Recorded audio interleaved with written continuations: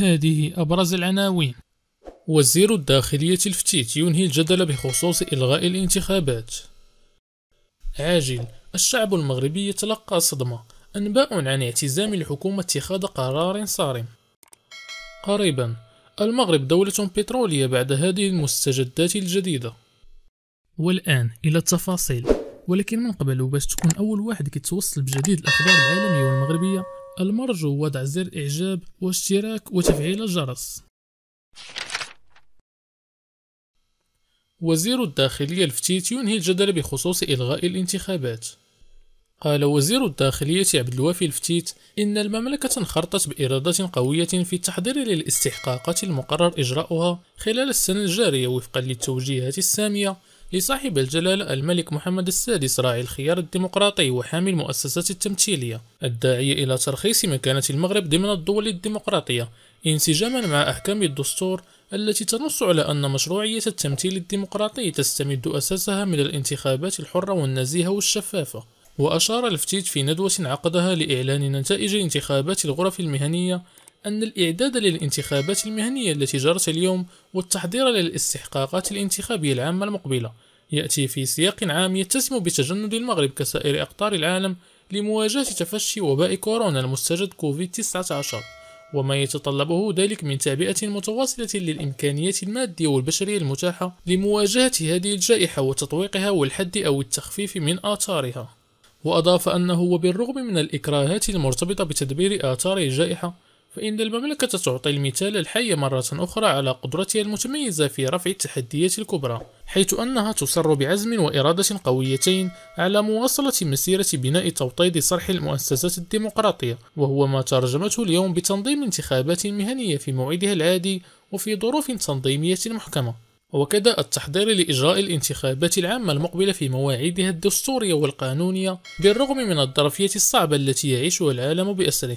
وبهذه التصريحات أنهى الفتيت الجدل بشأن إمكانية تأجيل الانتخابات المقبلة ومنها الانتخابات البرلمانية والجماعية بالنظر للوضعية الوبائية وارتفاع أعداد الإصابات والوفيات بفيروس كورونا. عاجل الشعب المغربي يتلقى صدمة أنباء عن اعتزام الحكومة اتخاذ قرار صارم. أوردت مصادر إعلامية أنه من المتوقع أن يطرأ تغيير جديد في توقيت الإغلاق الليلي والذي قد يبدأ في الساعة السادسة مساء عوض الساعة التاسعة ليلا. وهو ما قد يخلق ردود فعل جديدة وقوية بحكم الضرر الاقتصادي والنفسي والاجتماعي الذي تتسبب فيه مثل هذه القرارات في الوقت الذي يرى آخرون أن الأمر ضروري ولا بد منه في ظل الارتفاع الصاروخي والكبير لعدد الإصابات بفيروس كورونا خلال الأيام الأخيرة. بل بعض المستشفيات دخلت في مرحلة خطيرة بفعل كثرة المصابين بفعل الارتفاع الملحوظ في الحالات الحرجة بغرف الإنعاش. ووفق المصادر ذاتها فإن هناك اجتماعات مكثفة تجري على قدم وساق يشارك فيها عدد من المسؤولين من وزارات الصحة والداخلية والاقتصاد والتجارة من أجل بحث الإجراءات التشديدية التي يمكن أن تقدم عليها الحكومة وكذا تأثيراتها السلبية المنتظرة على العجلة الاقتصادية خاصة ونحن في ذروة الموسم الصيفي وما يعرفه من رواج يستفيد منه ملايين المواطنين.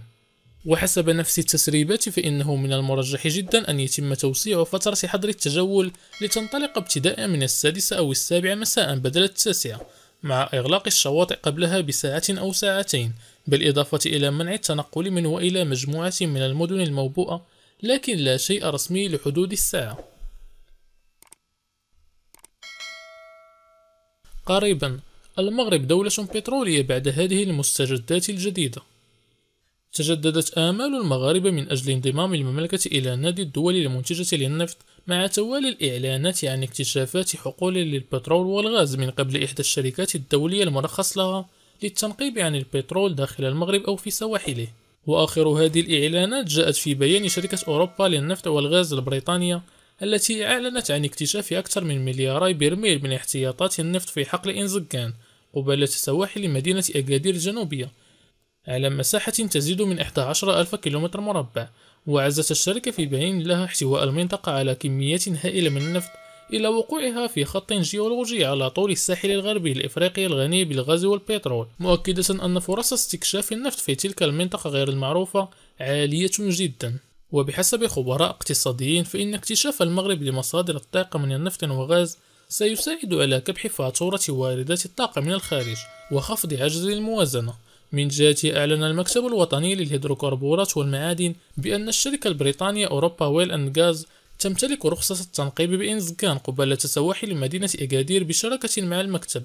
وأوضح بلاغ المكتب أن الأشغال الجيولوجية وتفسير المعطيات المتاحة مكنت من تحديد عدة احتمالات اكتشاف تقدر مواردها المحتملة من قبل الشركة بملياري برميل. مسجلا أن الأمر يتعلق بموارد محتملة وليس باحتياطات مؤكدة.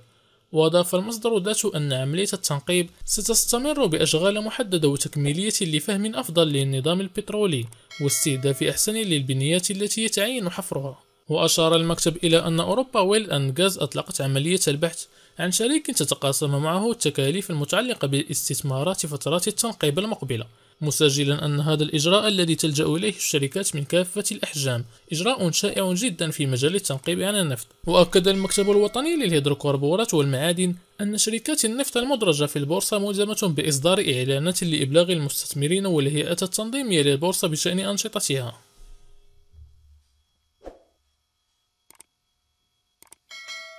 السعودية تعلن فتح أبواب العمرة لمليوني شخص في الشهر الواحد. أعلنت وزارة الحج والعمرة في السعودية رفع الطاقة الاستيعابية للمعتمرين ابتداء من شهر محرم إلى مليوني معتمر شهريا بحيث يجري استقبال 60 ألف معتمر يوميا موزعة على ثمانية فترات تشغيلية. وأوضح نائب وزير الحج والعمرة السعودي عبد الفتاح مشاط أنه جرى تجهيز مراكز النقل في المحطات ونقاط التجمع حول الحرم المكي وفق إجراءات دقيقة لتطبيق أعلى المعايير والإجراءات الاحترازية الصحية التي وضعتها الجهات المختصة.